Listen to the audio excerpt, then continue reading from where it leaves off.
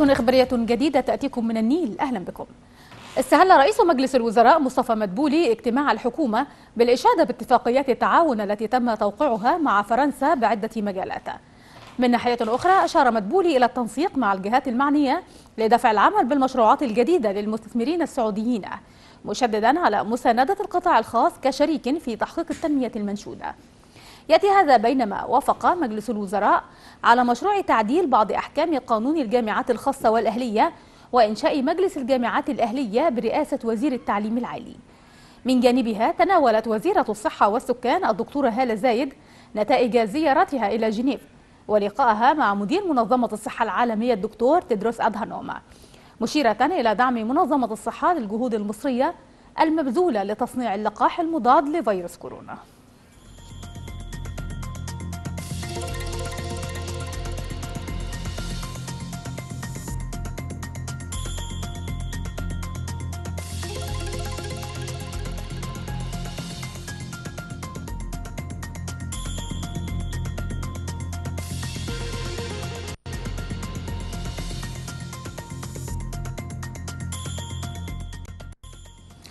وحول نشاط مجلس الوزراء ينضم إلينا عبر الهاتف من هناك مراسلنا أحمد أبو الحسن. أحمد يعني كيف تابعت اجتماعات اليوم وأهم ما قام به مجلس الوزراء واتخذه من قرارات في جلسة اليوم؟ يعني بعد التحية بالفعل كان الملف الاقتصادي تصدر أهم الملفات التي يعني تمت مناقشتها اليوم خلال اجتماع مجلس الوزراء برئاسه الدكتور مصطفى المسؤولي رئيس الوزراء، الملف الاقتصادي يعني شمل العديد من النقاط الهامة والتي أشار إليها الدكتور مصطفى مسؤولي رئيس الوزراء حيث أشار إلى الوفد السعودي الذي قام بزياره مصر خلال الفترة الماضية وأكد أن هذا الوفد ضم أكثر من 35 من كبار رجال الأعمال السعوديين.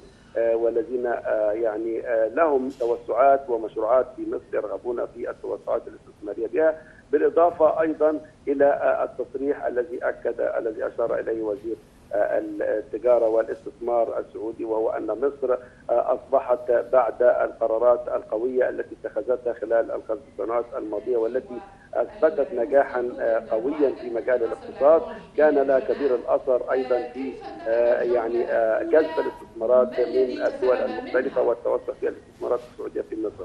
على جانب آخر أيضا رئيس الوزراء أشار إلى أيضا الاشاده التي قدمها.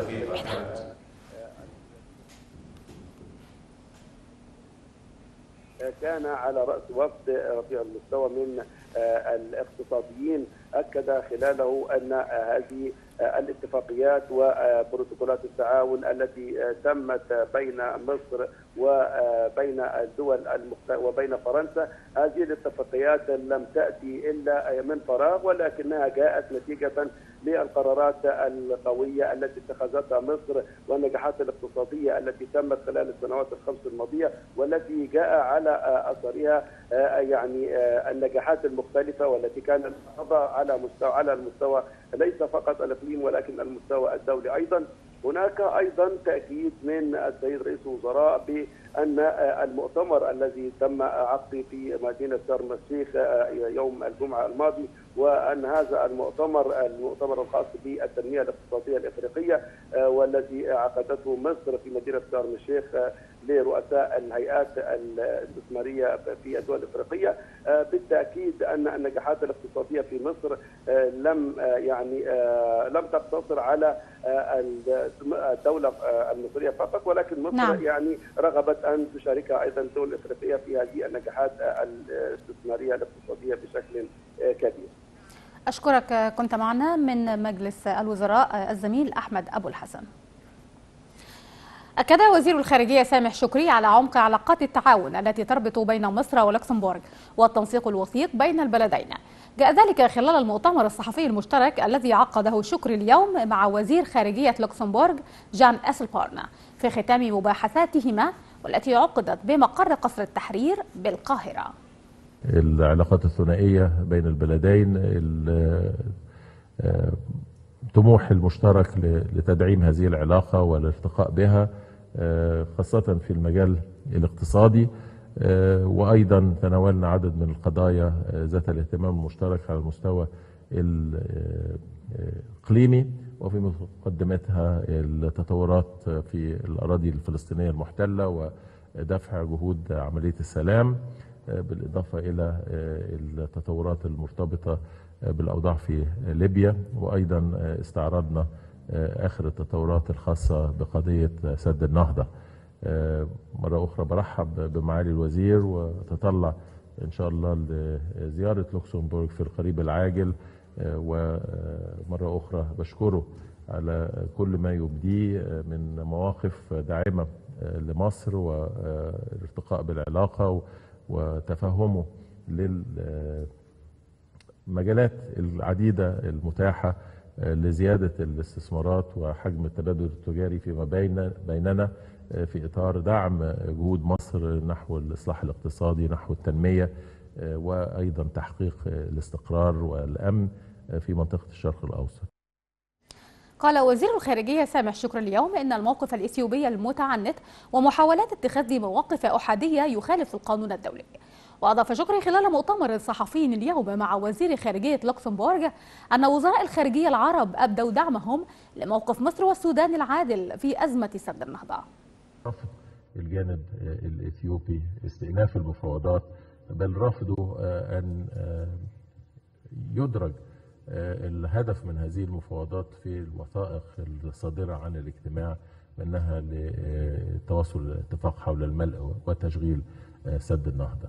هذه مواقف بتؤكد التعنت وبتؤكد محاولة التنصل من الهدف وبالتأكيد أنه السعي لكل الوسائل السياسية لتغيير هذا الموقف وتحمل المجتمع الدولي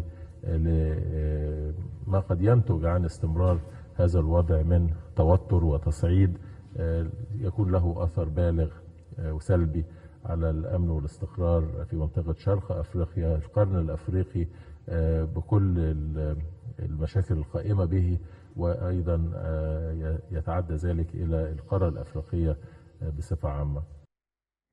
كان وزير الخارجية سامح شكري قد عقد جلسة مباحثات مع جان أسلبورن وزير خارجية لوكسمبورغ والذي يقوم حاليا بزيارة إلى القاهرة. تناول اللقاء الذي يعقد بقصر التحرير العلاقات بين مصر ولوكسمبورغ وسبل تعزيزها في شتى المجالات إلى جانب القضايا الإقليمية والدولية محل الاهتمام المشترك. شاركت مصر في أعمال الدورة الرابعة عشر لمؤتمر الدول الأطراف في اتفاقية حقوق الأشخاص ذوي الإعاقة والتي انطلقت في نيويورك تحت عنوان الاستجابة والتعافي من جائحة كورونا من أجل التعامل مع التداعيات الاجتماعية والاقتصادية على الأشخاص ذوي الإعاقة. ألقى بيان مصر مندوب مصر الدائم لدى الأمم المتحدة السفير محمد إدريس حيث أكد على الاهتمام البالغ الذي توليه الدولة المصرية لقضية الإعاقة ورعاية الاحتياجات الخاصة كما استعرض الإطار التشريعي في مصر والذي يهدف لحماية حقوق الأشخاص ذوي الاحتياجات الخاصة. نفى المركز الإعلامي لمجلس الوزراء صحة ما تداولته رسالة نصية تزعم تعارض استخدام أدوية التخدير مع لقاحات كورونا.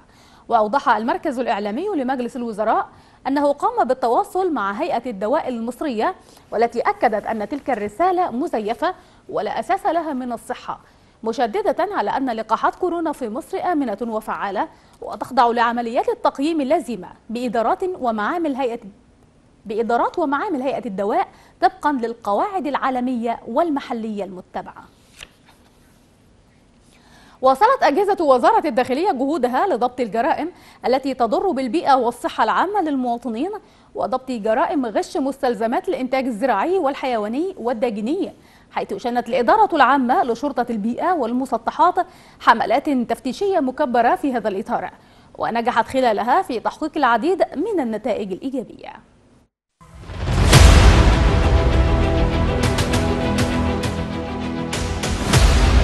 تتواصل جهود أجهزة وزارة الداخلية للتصدي للجرائم التي تضر بالبيئة وغش مستلزمات الإنتاج الزراعي والحيواني والداجني حيث قامت الإدارة العامة لشرطة البيئة والمسطحات بعدة حملات تفتيشية مكبرة في هذا الإطار أسفرت عن نتائج كبيرة. وقد تمكنت الإدارة وفي مجال حماية الثروة الزراعية من ضبط ثلاثة مخازن ومصنع ومتجر وسيارة وثلاث شركات ومحل جميعها بدون ترخيص بنطاق محافظات المنوفية والإسماعيلية والبحيرة بداخلهم نحو 600 طن مبيدات وأسمدة ومخصبات زراعية ونحو 300 طن أعلاف حيوانية بدون بيانات ومنتهية الصلاحية ومجهولة المصدر.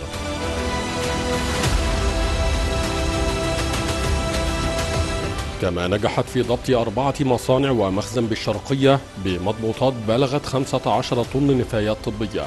يتم إعادة تدويرها وتصنيعها بما يمثل ضررا بالغا على الصحة العامة. و119 ألف قطعة أكواب زجاجية مجهولة المصدر. وكذا ضبط 14 منشأة صناعية ببني سويف والدقهلية لمخالفتها الاشتراطات البيئية والصحية. وقد أسفرت نتائج هذه الحملات عن ضبط ثمان منشآت سياحية بالقاهرة لمخالفتها الاشتراطات البيئية والصحية وانتهاء تراخيصها.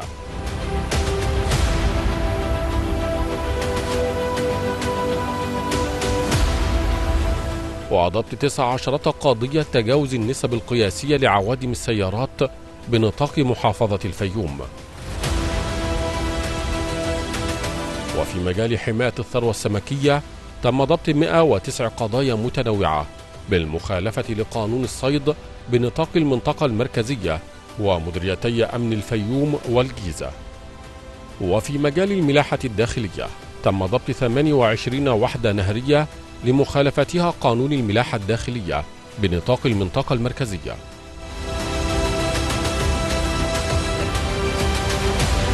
في الاتجاه ذاته نجح قطاع الأمن العام بالاشتراك مع الإدارة العامة لشرطة البيئة والمسطحات في ضبط مصنع وثلاثة متاجر بالبحيرة لقيام المسؤولين عنها بالتصنيع والإتجار في المستلزمات الزراعية والمطهرات المغشوشة والمصنعة من مواد مجهولة المصدر. وبداخلهم أكثر من 220 طن مواد خام ومنتج نهائي لمستلزمات إنتاج زراعي وأعلاف حيوانية مجهولة المصدر. عبد الله بركات للتلفزيون المصري.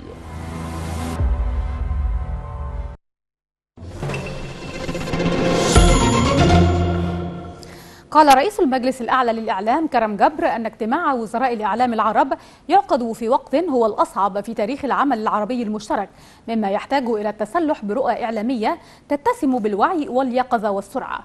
وأشار جبر خلال أعمال الدورة الحادية والخمسين لمجلس وزراء الإعلام العرب إلى أن الأمة العربية تواجه منذ سنوات خطر الإرهاب مما يحتم تفعيل الرؤى السابقة والتي تم الاتفاق عليها في الاجتماعات السابقة.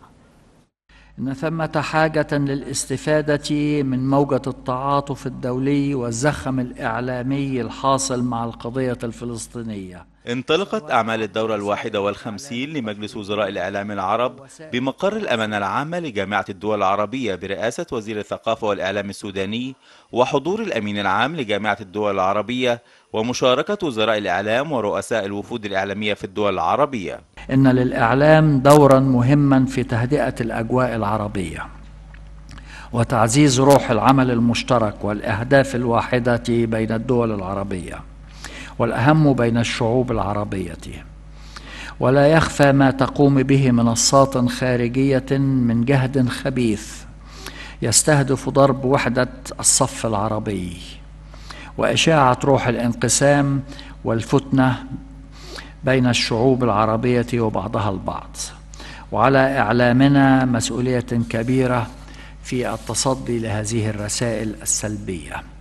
وفي تعزيز الانتماء إلى الهوية العربية الجامعة. خلال الاجتماع تم التأكيد على أهمية دور الإعلام في دعم القضايا العربية. آن الأوان لتفعيل الرؤى الكثيرة التي توصلنا إليها في الاجتماعات المشتركة لوزراء الإعلام العرب وأن نصل إلى استراتيجيات موحدة لتطهير العقول من أفكار ومعتقدات أخطر من القنابل والمتفجرات والسيارات المفخخة التي يستخدمها الإرهابيين لنحمي شبابنا من الوقوع في براثن تلك الجماعات إن وجود القضية الفلسطينية في مقدمة بنود اجتماع مجلس وزراء الإعلام العرب واجتماعات اللجنة الدائمة للإعلام العربي يؤكد إدراكنا العميق وتوافقنا التام على أنها قضيتنا المركزية وجوهر كل القضايا الإقليمية والعالمية وما شهدناه من أحداث وتطورات خلال الأسابيع الماضية يستدعي منا بذل الجهود الإعلامية الحثيثة إلى جانب الجهود السياسية والدبلوماسية التي تبذلها قياداتنا العربية لدعم إحقاق الحق الفلسطيني العادل. ناقش المجلس القضية الفلسطينية وكيفية تنفيذ سياسة إعلامية عربية متواصلة وحشد الرأي العام العالمي. ومناهضة الإجراءات والسياسات الإسرائيلية التعسفية ضد الفلسطينيين ومتابعة خطة التحرك الإعلامي العربي في الخارج واللجنة العربية للإعلام الإلكتروني كما ناقش الخريطة الإعلامية العربية للتنمية المستدامة 2030 يلعب الإعلام في الفترة الأخيرة دورا بارزا في العديد من القضايا على المستوى العالمي ومعه يبرز أهمية زيادة دور الإعلام العربي تجاه العديد من القضايا العربية وتوحيد الرؤى لدعمها في الفترة القادمة. من الجامعة العربية منذر أبو دوح النيل للمزيد من المتابعة انضم إلينا هاتفيا من جامعة الدول العربية الزميل منذر أبو دوح. منذر يعني أهم ما كان اليوم على أجندة أعمال الدورة الحادية والخمسين لمجلس وزراء الإعلام العرب. بالفعل هناك العديد من القضايا تم مناقشتها ومنها القضية الفلسطينية والتطورات الأخيرة التي حدثت بها والتدخل المصري لوقف الاعتداءات على قطاع غزة من قبل الاحتلال الإسرائيلي وكذلك التوجه المصري لإعادة إعمار غزة ولقي إشادة من قبل المشاركين في اجتماعات وزراء الإعلام والذي تابعناه على مدار الأيام الماضية كذلك. وكذلك مناقشة الإرهاب وكيفية مواجهة الفكر المتطرف الارهابي من خلال توحيد الرؤى للإعلام وتوحيد الرسالة لتوعية المواطن العربي بخطورة الإرهاب وخطورة الأفكار المتطرفة وكذلك العديد من القضايا العربية لتوحيد رؤى توحيد رؤى الإعلام في مواجهة هذه القضايا وكذلك بالنسبة سواء على بالنسبة للوجه العربي وكذلك على المستوى العالمي. كذلك هناك مناقشات لوضع خطة عاجلة للاعلام العربي لتوحيد الرؤى الخاصة بالقضايا العربية في المرحلة القادمة بالنسبة للمجتمعات العربية وكذلك المجتمعات الدولية.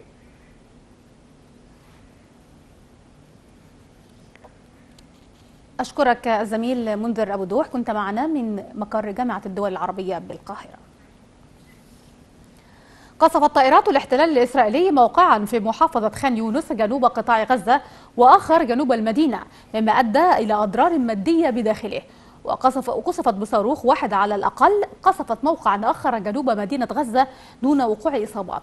يشار إلى أن هذه هي المرة الأولى التي تستأنف فيها طائرات الاحتلال قصفها لقطاع غزة منذ انتهاء العدوان الأخيرة والذي استمر 11 يوما ورحى ضحيته 259 شهيدا أي ما يقرب من 2000 جريح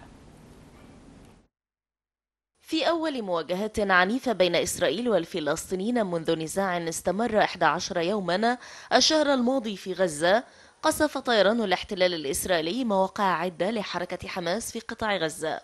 تحت مزاعم إطلاق بالونات حارقة من القطاع الفلسطيني المحاصر. مصادر أمنية فلسطينية أفادت أن طائرات حربية إسرائيلية قصفت بصاروخين موقع في شرق مدينة خان يونس وموقع آخر جنوب المدينة في جنوب القطاع دون وقوع إصابات جراء هذه الغارات. هذه الضربات الجوية هي الأولى التي تنفذها إسرائيل منذ وصول الحكومة الجديدة برئاسة وزير الدفاع السابق نفتالي بينت إلى سدة الحكم. الأحد الماضي. والتي أنهت أكثر من 12 عاما من حكم متواصل لبنيامين نتنياهو. وأعلن جيش الاحتلال الإسرائيلي أن الغارات جاءت ردا على إطلاق بالونات حارقة من قطاع غزة نحو مناطق قرب الحدود الإسرائيلية. وحمل حركة حماس مسؤولية ما يجري داخل القطاع محذرا من أنه مستعد لكافة السيناريوهات بما فيها تجدد القتال بين الطرفين. يأتي ذلك بعد زيادة التوتر بين الطرفين وخاصة بعدما أصيب 17 فلسطينيا على الأقل خلال اشتباكات مع قوات الاحتلال في القدس الشرقية. مع انطلاق مسيرة للأعلام لليمين الإسرائيلي المتطرف واعتقلت شرطة الاحتلال عددا من الفلسطينيين أثناء إخلاء منطقة باب العمود قبيل خروج المسيرة. في خطوة يعتبرها القانون الدولي غير شرعية. أصلا وجودهم هون هيك على الأسوار هيك هم يسبسبوا ويغلطوا ويعملوا حركات غير لائقة بس استفزاز. القائمة المشتركة ستبقى مع شعبها حتى هنا على هذا السور في باب العمود يرتفع علم فلسطين في القدس عاصمة الدولة الفلسطينية. يشار إلى أن هذه هي المرة الأولى التي تستأنف فيها طائرات الاحتلال قصفها لقطاع غزة منذ انتهاء العدوان الأخير والذي استمر 11 يوما وراح ضحيته 259 شهيدا وما يقارب 2000 جريح. اقتحم عشرات المستوطنين المسجد الأقصى المبارك تحت حراسة مشددة من قوات الاحتلال الإسرائيلية. وقالت دائرة الأوقاف الإسلامية في القدس إن 56 مستوطنا اقتحموا باحات الأقصى ونفذوا جولة استفزازية قبل أن يغادروه من جهة باب السلسلة. وفي سياق متصل قال رئيس بلدية سبسطية محمد عازم إن مئات المستوطنين اقتحموا الموقع الأثري وسط إجراءات عسكرية مشددة من قبل قوات الاحتلال. أعلنت وزارة الصحة الفلسطينية عن مقتل فلسطينية عند قرية حزمة بالقرب من مدينة القدس في الضفة الغربية برصاص جيش الاحتلال الإسرائيلي بزعم محاولة الهجوم على جنود الاحتلال دهسا أو طعنا. على صعيد متصل اعتقلت قوات الاحتلال الإسرائيلي اليوم 20 فلسطينيا من الضفة الغربية بينهم مصابة. واعتقلت قوات الاحتلال ثلاثة شبان من بلدة بيتا بنابلس وفي الخليل اعتقلت ثمانية أشخاص. بينما اعتقلت شابين من تركرم وفي رام الله اعتقلت تسعة مواطنين بينهم مصابة. توجه الرئيس التونسي قيس سعيد اليوم إلى العاصمة الإيطالية روما في زيارة رسمية تستغرق يومين بدعوة من الرئيس الإيطالي سيرجيو ماتريلا. وذكرت الرئاسة التونسية أن الرئيس قيس سعيد من المقرر أن يلتقي خلال الزيارة الرئيس سيرجيو ماتاريلا ورئيس مجلس الوزراء الإيطالي جوزيبي كونتي. وأشار البيان إلى أن الزيارة من المقرر أن تمثل مناسبة متجددة لمواصلة بحث سبل تطوير آليات التعاون والشراكة بين تونس وإيطاليا في عدة مجالات ومزيد من ترسيخ علاقات التشاور والتنسيق القائمة بين البلدين وتعميق النقاش وتبادل وجهات النظر بشأن عدة ملفات إقليمية ودولية ذات اهتمام مشترك. قال الرئيس الروسي فلاديمير بوتين إنه يأمل أن يكون اجتماعه مع الرئيس الأمريكي جو بايدن في جنيف مثمرا. وشكر بوتين بايدن وهو يجلس بجواره على مبادرته لعقد لقاء اليوم. بينما ذكر بايدن أنهما سيعملان على تحديد مجالات التعاون والمصالح المشتركة. ومن المقرر أن تضم أجندة القمة قضايا الاستقرار الاستراتيجي ومكافحة جائحة فيروس كورونا ومحاربة الجريمة السبرانية والتعاون الاقتصادي تغيرات المناخ ومختلف النزاعات الإقليمية. بالإضافة إلى المسائل العالقة في العلاقات الثنائية بين موسكو وواشنطن. وذلك وسط توقعات بأن يشهد اللقاء خلافات كبيرة وتضاؤل فرص تحقيق أي انفراجة. للمزيد من المتابعة ينضم إلينا عبر الهاتف الدكتور مختار غباشي نائب مدير المركز العربي للدراسات السياسية. دكتور مختار مساء الخير. أهلا بيك مساء الخير عليك وعلى مشاهديك. أهلا وسهلا. يعني لماذا هناك توقعات بعدم حدوث اي انفراجة بين الطرفين في حين موافقة الطرفان على عقد قمة بينهما؟ يعني خلينا أقول لك ببساطة شديدة جدا لقاء سحاب ما بين الطرفين بعد حديث متبادل شديد ما بين الجانبين. قلق أمريكي من التقارب الروسي الصيني في مواجهه الولايات المتحدة الأمريكية الروس مزعجة للولايات المتحدة الأمريكية بصفتها وريث الاتحاد السوفيتي بدأت تناوئ وتعاكس السياسة الخارجية الأمريكية في كثير جدا من ملفات النزاع. خلت كثير جدا من المحللين يتحدثوا عن هذا اللقاء باعتباره آه يعني لقاء آه استيضاح لمواقف كل من الطرفين في كثير جدا من القضايا.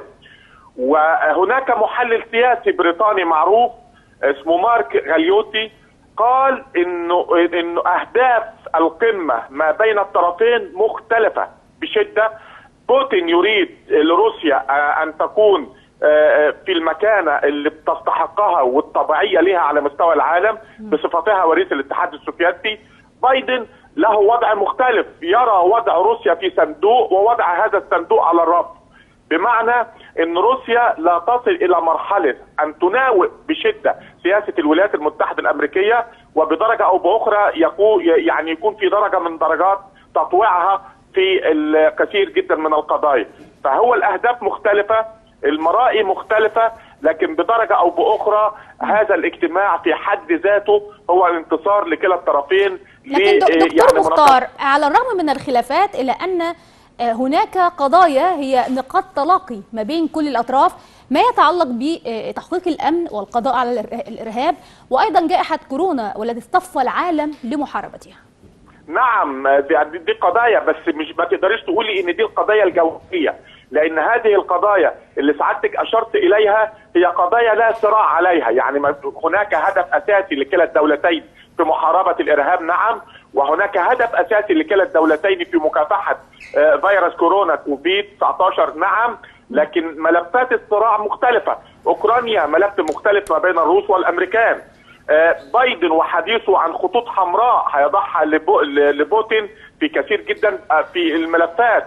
وجود الصين بجانب الروس في حلبة الصراع الأكبر على المستوى الإقليمي والمستوى الدولي مسألة مزعجة لأمريكا.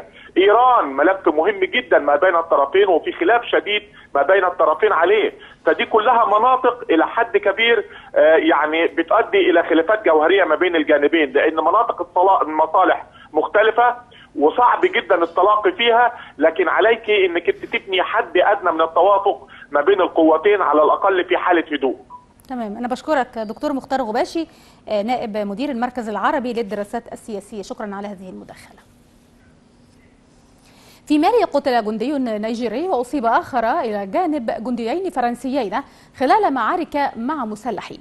وتعرض جنود من قوة برخان الفرنسية خلال مهمة استطلاعية لهجوم شنه مسلحون. وقال المتحدث باسم هيئة الأركان الفرنسية إن الجنود تلقوا دعما من الطائرات المروحية والمقاتلة وقاموا بتحييد المسلحين الذين لم يتم الإبلاغ عن عددهم. حذرت الأمم المتحدة من أن المجاعة في إقليم تيغراي والتي تشهد حربا يمكن أن تمتد إلى أقاليم أخرى في إثيوبيا والتي رفضت أن يبحث المجلس موضوع تيغراي لأنه شأن داخلي. تحذيرات أممية من أن المجاعة في إقليم تيغري التي تشهد حربا يمكن أن تمتد إلى أقاليم أخرى في إثيوبيا. وخلال اجتماع مغلق لمجلس الأمن الدولي قال مساعد الأمين العام للأمم المتحدة للشؤون الإنسانية مارك لوكوك إنه من المتوقع أن يزداد الوضع سوءا في الأشهر المقبلة. وأشار لوكوك إلى أن عدد الذين يعيشون في وضع مجاعة في تيغري يقدر بأكثر من 350 ألف شخص كما أن نحو مليون شخص في مناطق تيغري وعفر وأمهرة على وشك الوقوع في براثن الجوع. في غضون ذلك دعت السفيرة البريطانية لدى الأمم المتحدة أعضاء المجلس إلى الاتحاد والدعوة بصوت واحد إلى وقف فوري لإطلاق النار وإيصال المساعدة الإنسانية إلى المتضررين. من الواضح أن الطعام والمحاصيل الزراعية والماشية الحية قد دمرت ونتيجة لذلك يعاني نحو 350 ألف شخص من المجاعة في إقليم تيغري في حصيلة لم تحدث منذ مجاعة الصومال. وملايين كثيرة أخرى سيواجهون تفاقم انعدام الأمن الغذائي بسبب تعطل الزراعة. من جانبه قال السفير الإثيوبي لدى الأمم المتحدة عقب الجلسة إن بلاده ترفض أن يبحث المجلس موضوع تجري لأنه شأن داخلي معتبرا أن الأمم المتحدة والمنظمات غير الحكومية. لم تجمع هذه البيانات بطريقة شفافة وشاملة. وشن رئيس الوزراء الإثيوبي إبي أحمد في نوفمبر الماضي هجوما عسكريا واسع النطاق على تجري. لنزع سلاح قادة الجبهة الشعبية لتحرير شعب تجري. الحزب الحاكم في الإقليم. متواصلون مع حضراتكم ومعنا أيضا. الاتحاد الأوروبي يوافق على رفع القيود على المسافرين الوافدين من ثمان دول ومناطق بينها الولايات المتحدة ولبنان.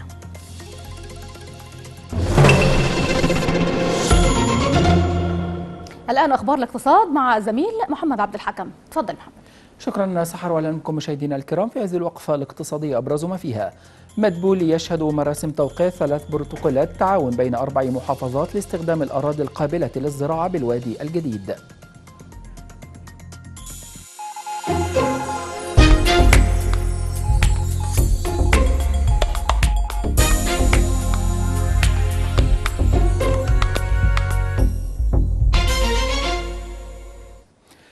شهد الدكتور مصطفى مدبولي رئيس مجلس الوزراء مراسم توقيع ثلاث بروتوكولات تعاون بين محافظة الوادي الجديد من ناحية ومحافظات المنوفية والغربية وكفر الشيخ من ناحية أخرى لاستغلال مساحات من أراضي الوادي الجديد لصالح تلك المحافظات. حضر مراسم التوقيع وزراء الكهرباء والتخطيط والتنمية المحلية والإسكان. وتتعلق تلك البروتوكولات بتخصيص مساحات من الأراضي القابلة للزراعة في محافظة الوادي الجديد لصالح المحافظات الثلاث الثلاث لحل أزمة عدم وجود ظهير صحراوي لتلك المحافظات والخروج من الوادي الضيق إلى الصحراء الشاسعة ومضاعفة المساحات المزروعة من خلال إقامة مشروعات تنموية زراعية وشاملة. قال وزير النقل المهندس كامل الوزير إن الرئيس عبد الفتاح السيسي صدق على تعيين ألف مهندس بهدف توفير كوادر شابة في المجالات الهندسية المختلفة مؤهلة للعمل بخطوط وورش شبكة السكك الحديد وشبكة القطار الكهربائي السريع وكذلك تعيين 1500 فن و500 فني للوظائف الفنية المختلفة. جاء ذلك خلال الاجتماع الموسع الذي عقده وزير النقل مع رؤساء الإدارات المركزية بهيئة السكك الحديدية لمتابعة تنفيذ خطة التطوير والارتقاء بالعنصر البشري في الهيئة التي وجهت بها القيادة السياسية. وأكد الوزير أن مرتكزات الخطة الخاصة بالعنصر البشري الحالي في السكة الحديد تعتمد على عدة محاور منها خلق بيئة عمل مناسبة وحل كافة المشاكل الإدارية. وتحقيق العدالة بين كل الموظفين والتدريب والتأهيل لهم. أعلنت وزارة البترول توصيل الغاز الطبيعي إلى أكثر من 80 مليون مواطن في غضون ثلاثة أعوام وذلك ضمن المبادرة الرئاسية حياة كريمة. و... عفوا وأضافت الوزارة أن لديها خطة طموحة لتوصيل الغاز للمنازل في جميع محافظات مصر بالعمل في القرى والمراكز بحيث يتم إدخال خدمة الغاز إليها بعد الانتهاء. من أعمال الصرف الصحية وأكد وزير البترول طارق الملا أن الوزارة حققت نجاحا كبيرا في قطاع الغاز الطبيعي. وأشار إلى أن مصر حتى عام 2015 كانت تستورد الغاز الطبيعي وهو ما يزيد العبء على الدولة حيث كانت تصل تكلفة الاستيراد إلى 2.5 مليار دولار سنوياً. أكد الدكتور محمد معيط وزير المالية أن الحكومة وافقت على بعض المزايا الجديدة لتحسين الأوضاع الوظيفية للعاملين المثبتين بالصناديق والحسابات الخاصة على النحو الذي يسهم في رفع كفاءة الأداء وتحسين جودة الخدمات المقدمة للمواطنين وأوضحت الوزارة أنه تقرر حفظ حق. هؤلاء العاملين المثبتين على الصناديق والحسابات الخاصة في الترقية برفع الدرجات الوظيفية التي يشغلونها إلى الدرجات الأعلى بحيث لا يتم تجميد أوضاعهم الوظيفية.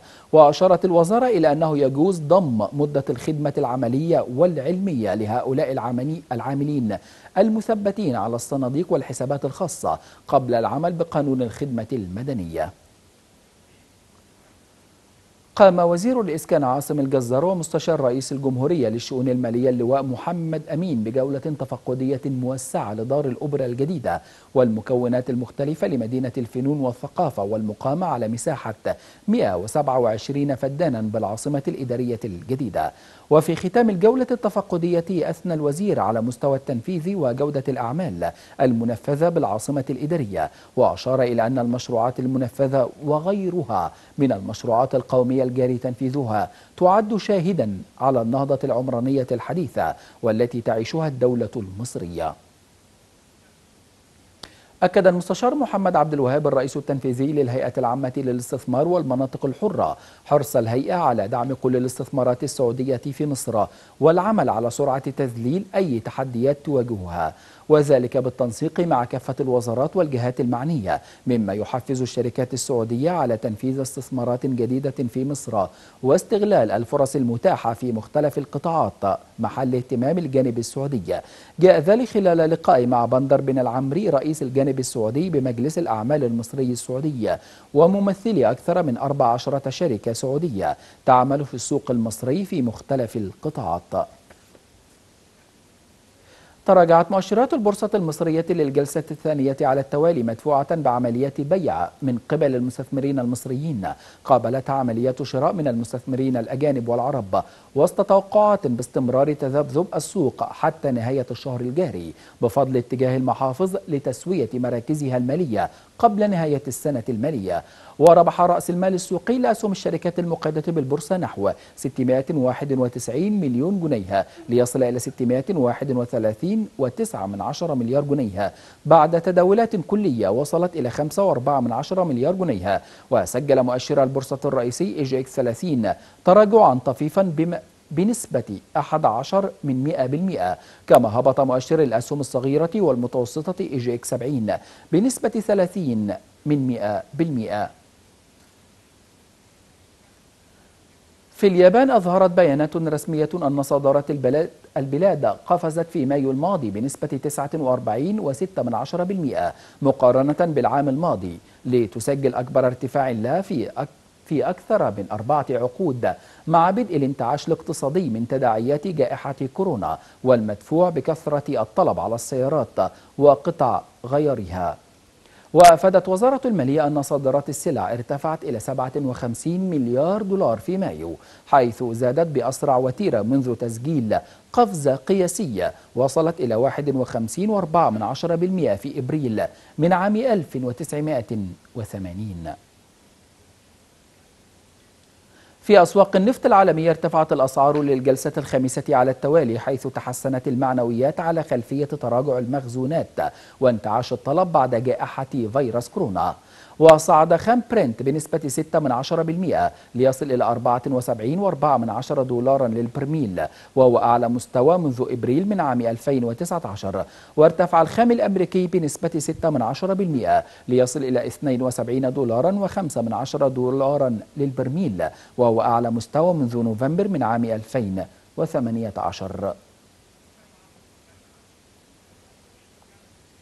نهاية الوقفة الاقتصادية ونعود من جديد إلى زميلتي سحر صبري. إليك سحر. شكرا محمد. أفاد مسؤولون أوروبيون بأن الاتحاد الأوروبي وافق على رفع القيود على المسافرين الوافدين من ثمان دول ومناطق بينها الولايات المتحدة ولبنان. وتم توسيع قائمة الدول المستثناة من الحظر المرتبط بالسفر لتشمل ألبانيا ومقدونيا الشمالية وصربيا ولبنان والولايات المتحدة وتايوان وماكاو وهونغ كونغ. كما أفادت مصادر أوروبية أن الاتحاد الأوروبي وافق على استقبال السياح الأمريكيين وإن كانوا غير ملقحين.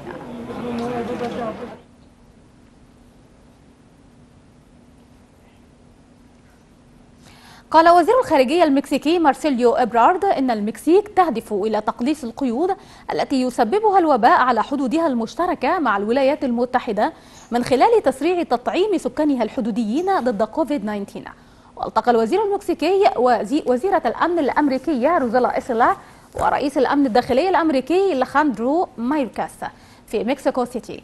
وقال وزير الخارجية أنه عرض خطة حكومته للإسراع بالتطعيم. وأضاف أن مايركاس أشار إلى أن أولوياته هي تسهيل التجارة والسياحة والسفر وتسريع التطعيمات لعودة المنطقة الحدودية إلى طبيعتها بأسرع ما يمكن. سجلت الهند أول حالة إصابة بعدوى الفطر الأخضر متعافي لمتعافي من فيروس كورونا. وأفاد مصدر طبي أن الحالة لشخص في ولاية ماديا برايش يبلغ من العمر 34 عاما أصيب بالفيروس لمدة شهرين قبل إصابته بنزيف في الأنف وحمى والذي أثبتت الاختبارات إصابته بعد ذلك بعدوى الفطر الأخضر. يأتي ذلك بينما سجلت الهند أكثر من 62 ألف إصابة جديدة بفيروس كورونا. ليرتفع إجمالي المصابين إلى أكثر من 29 مليون حالة وكما سجلت 2542 حالة وفاة جديدة. ليرتفع إجمالي الوفيات إلى نحو 380 ألف حالة. متواصلون مع حضراتكم ومعنا أيضا. الصين تطلق أول مهمة مأهولة لها في الفضاء منذ خمس سنوات.